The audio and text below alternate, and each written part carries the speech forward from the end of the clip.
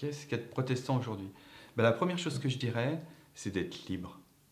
D'être libre euh, dans une espérance d'un monde meilleur.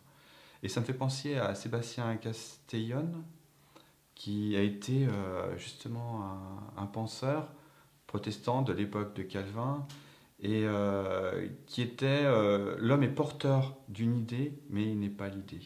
Et être protestant aujourd'hui, c'est d'être porteur de cette bienveillance, de, ce partage, de cette communauté.